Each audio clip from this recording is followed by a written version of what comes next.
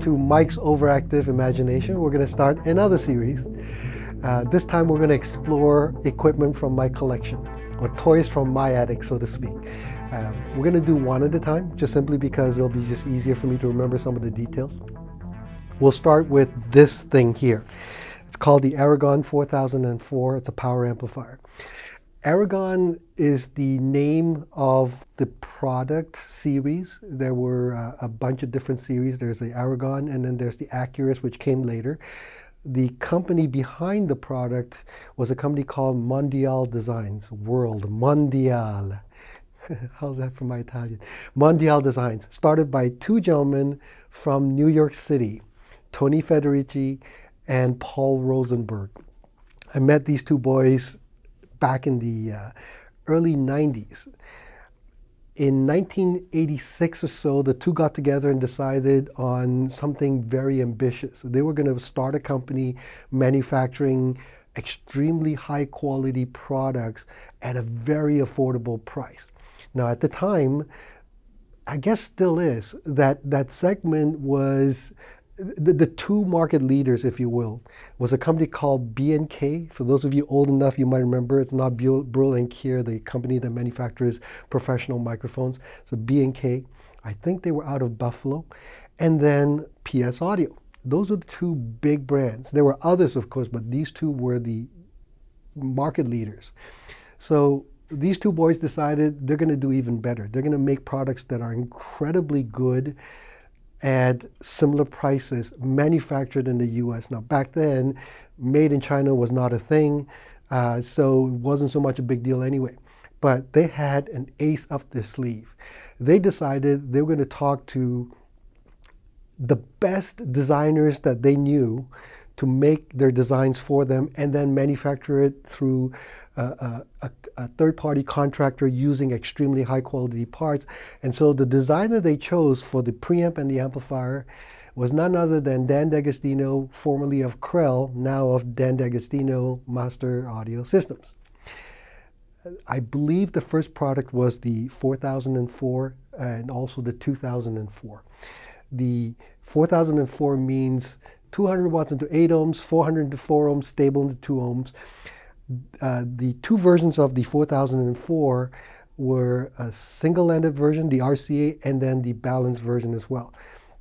And then the preamp was called the 24K, as in gold. And then subsequently, they had another preamp called the 18K. When the products exploded on the scene, it was crazy. People were blown away by how good it is. Um, the technology is insanely good. Uh, I'll show you a few things in a moment. Even the um, industrial design. This was done by a gentleman called Robbie Wesson. Again, old timers may remember Robbie was the gentleman, the artist that was responsible for the covers of the Absolute Sound. And so this V is there so that when you stack something on top, the V acts as a chimney. It will still allow for the heat to evacuate from the amplifier. But also, from a distance, you instantly know that this is an Aragon just because of the V. So very, very smart. Um, what I loved about this amplifier was the sound quality, build quality, value, and reliability. In all the years that, well, let me back up a little bit in 1991, we started Audio Excellence, and back then, as I've said before, we had no money. We wanted all these great brands, but we couldn't go after them. We just had no money. But the one brand that I absolutely wanted was Aragon.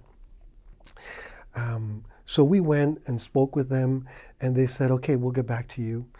They went to talk to the existing dealer in Toronto at the time. And just so you know, back then, all these different brands, very few of them were willing to talk to us because they were already well represented. Plus, on top of which, we were a no name uh, um, uh, company. Nobody knew who we were. They might have known me from having already met me a few times in the industry, but the, you know, whenever you start a company, there's a very high likelihood that you'll fail. And so I, am not um, uh, surprised that most of them wouldn't talk to me or at least would not give me the time of day.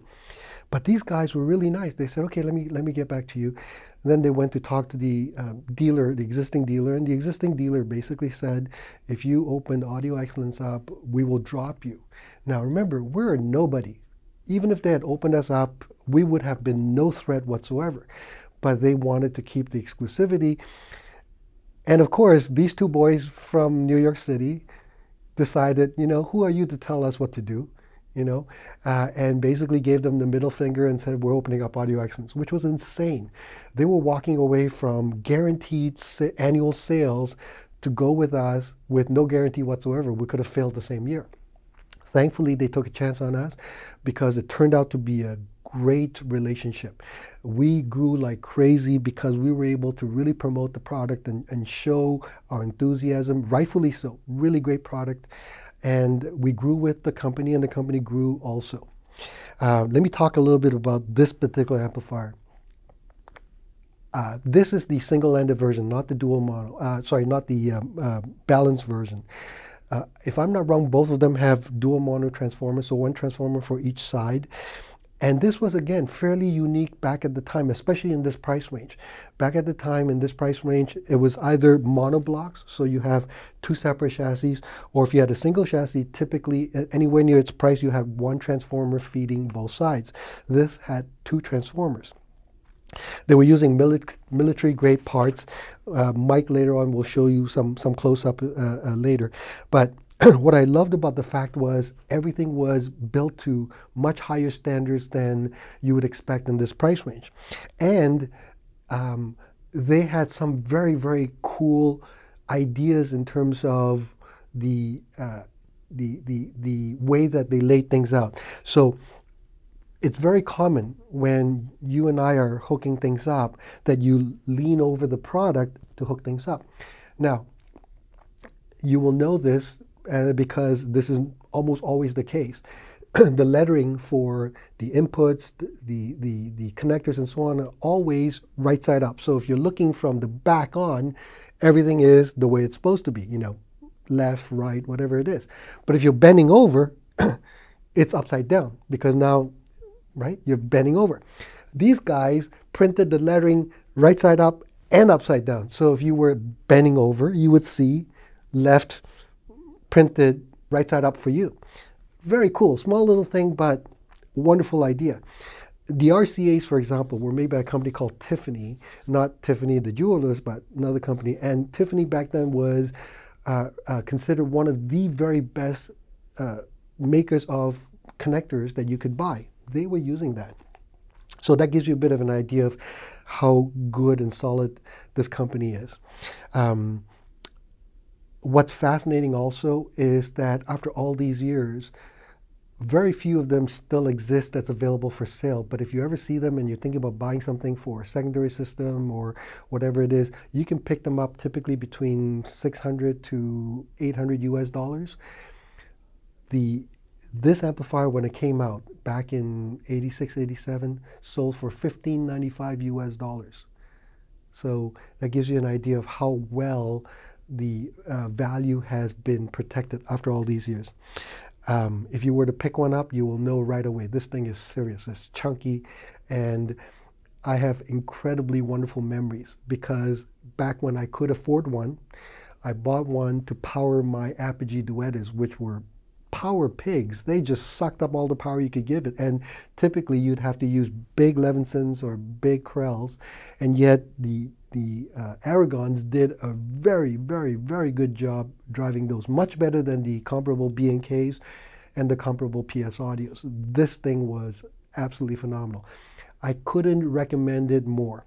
The reason that I have this as part of my collection is because from time to time we will use it as a service loan.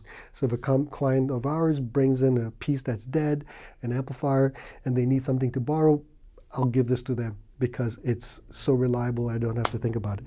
Anyway, this is the start of a new series. We'll go through more as I have more time, but I hope you enjoy watching it. If you've owned one of these, I would love to read your comments. If you've never owned one, but you know of it, um, write some comments down. If you have products in your collection that you really enjoy and you want to share with us, please, again, put in the comments below. All right, thanks for watching. We'll see you again next time. Bye-bye.